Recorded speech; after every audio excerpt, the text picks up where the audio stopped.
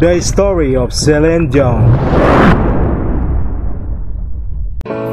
Celine Marie Claudette Dion, also known as Celine Dion. Celine Dion was born on March 13, 1968, from Charlemagne, Quebec, Canada.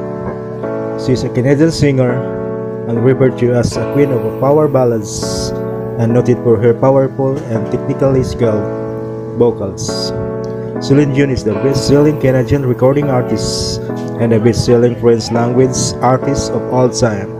And her music has incorporated of genres such as a pop rock, R&B, gospel, and classical music. Her recordings since have been mainly in English and French, although she has also sung in Spanish, Italian, German, Latin, Japanese, and Chinese. Celine Dion was born into a large family in Charlemagne, Quebec. Celine Dion was emerged as a teen star in her home country with a series of French language albums during the 1980s and she gained international recognition by winning the 1988 Eurovision Song Contest, where she represented the Switzerland with Ne Partez pas sans moi. And after learning to speak English, she signed with the Epic Records in the United States.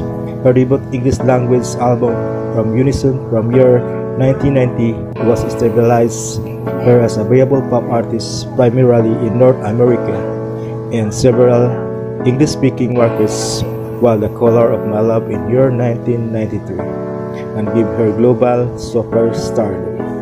And this is the performance of a Canadian singer no other than Celine Dion.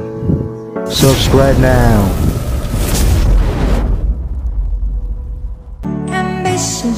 All